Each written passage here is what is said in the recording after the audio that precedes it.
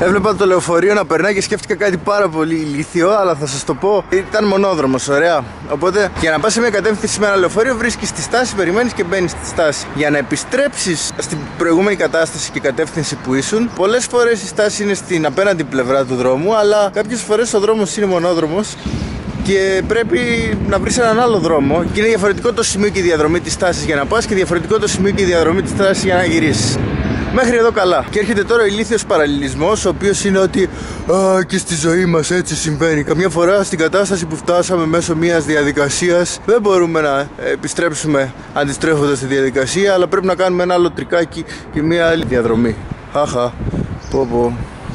Έλεος. Πραγματικά να μην με αξιώσει η μοίρα να γίνω εμπνευστικός ε, coach και τέτοια πράγματα. Άμα δεν υπάρχει πιο κατάπτυστο επάγγελμα. Και όχι, είναι ένα εξαιρετικό επάγγελμα. Πρέπει να φτιάξω βίντεο γι' αυτό. Για τους εμπνευστικούς προπονητές και τα βιβλία αυτοβελτίωσης και όλα αυτά τα αυτοβελτιωτικά. Γιατί ασχολιόμουν παλιά αρκετά και.